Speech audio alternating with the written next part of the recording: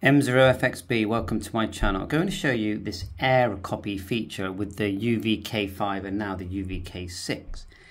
Air copy just means it will send a frequency that you've typed into this radio to this radio. So quite a basic feature really. So to get it into air copy, you have to turn off the radio, both radios, hold down the bottom button, this one here, and the PTT and turn on. And when you do that, it's quite it's quite fiddly, but when you do that, it will say air copy on the screen. So let's just try it with this one first. Hold it down. They are quite stiff these buttons, and then turn on. Welcome, frequency mode. And it now says air copy. Okay, on the screen. Now do the other one. Turn it off.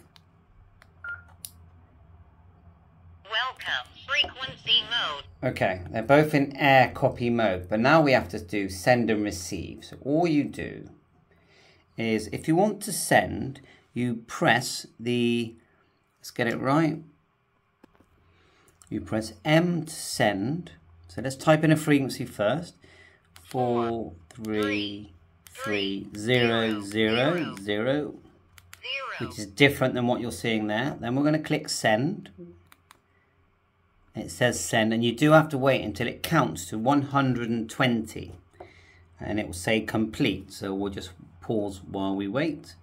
Now to receive on the other radio, you have to press exit, and it starts to receive. Pretty sure. So we'll wait for the two minutes, and then at the end of the two minutes, you turn this radio off, you know, th this radio here, then back on, and the 433 will now be on this radio here.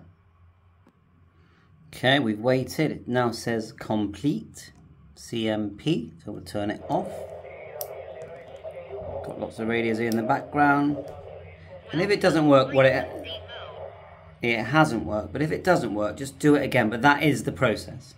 And it worked just now. Bye for now. 7 3.